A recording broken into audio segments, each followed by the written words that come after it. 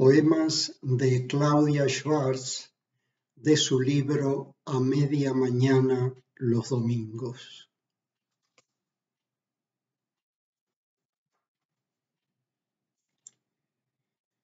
Vienen y van los almohadones y almohadas y va subiendo el calibre, puntería lado a lado.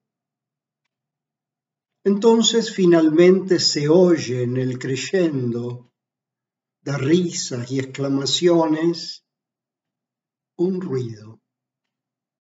Y tras eso un silencio interminable, una que llora herida la cabeza, la nariz, y un hipo de disculpas y llega entonces ella nuestra madre y se apaga la luz y lentamente.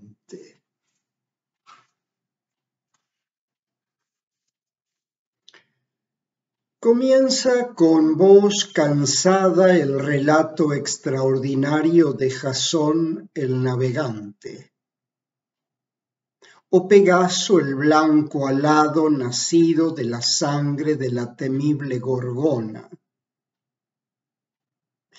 o aquel siempre cuento de Ulises al regreso solo por su viejo perro, reconocido y por la fiel nodriza que, al lavarle los pies al peregrino, le descubre las heridas nunca del todo cerradas de aquel niño en el monte abandonado por un pastor adrede enviado para que no hubiera recuerdo o cruce en el hipotético futuro.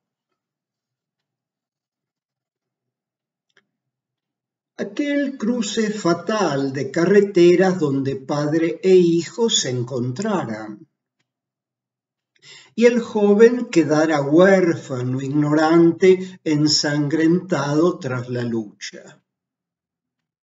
Pero este es telémaco, murmura mi madre en su ovillo, de palabras tecleadas en la siesta, aprovechando la pausa de la casa cuando musical sus dedos en la letera meditan otra historia más próxima e igualmente sangrienta.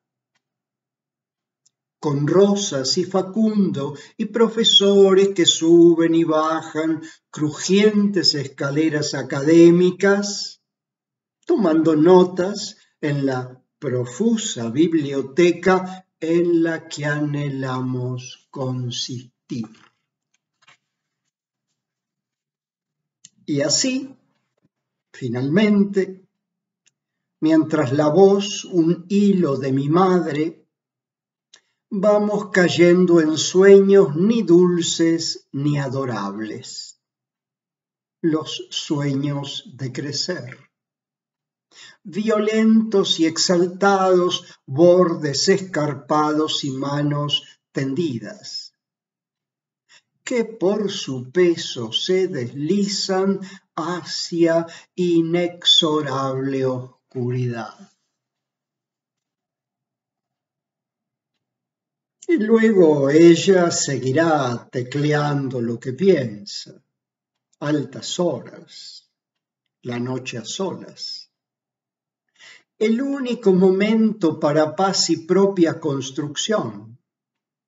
Sin hijas ni marido y tampoco madre, a solas pensar un mundo de hombres en mujer.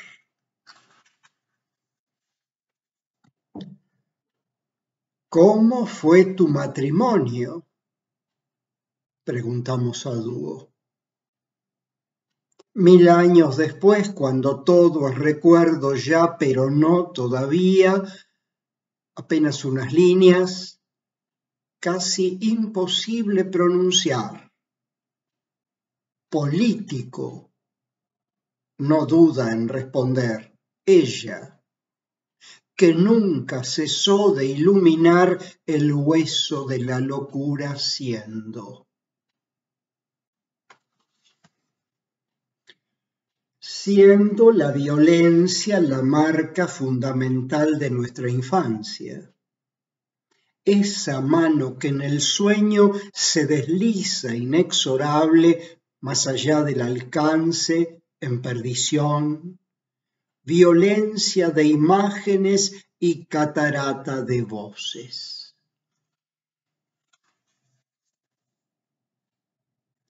Si quiero rescatarte de esa infinita caída, allí está esa mano y la mirada inaccesible, tierna pero yendo siempre a otro lugar.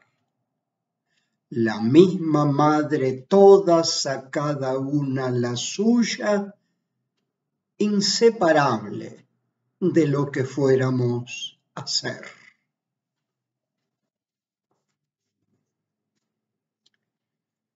Siempre extraña la vida que fue dada más después. Amargamente retazos, retazo, mero retazo, insuficiente, milagrosa vida. La madre siempre sabe más. Deseo y decepción, la hija, una mujer y otra y otra más. Mientras decepción y deseo van tejiendo la firme entretela, con que te podrías ahorcar si no, si no fuera que alumna de las monjas, sabes lo que es bordar y ya no esperas más. Claudia Schwartz